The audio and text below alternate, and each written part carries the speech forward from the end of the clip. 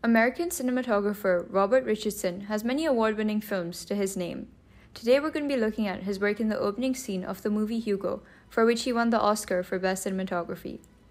He is known for the smooth motion he creates with the camera, which this scene really highlights. It seems like it has been filmed in one take, but it is actually multiple shots filmed using lots of different equipment.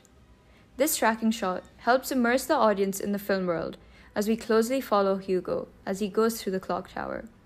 Richardson creates a blue hue in the shots using overhead lights. This adds to the autochrome look of the film, which Richardson wanted to replicate as it was invented in France in the early 1900s and is where Hugo is set. He also uses motivated lighting from lamps on the side as well as light bulbs on the clock to illuminate the interiors. These lighting and camera techniques create a sense of mystery and adventure, perfectly introducing the audience to the fascinating life of Hugo Cabret.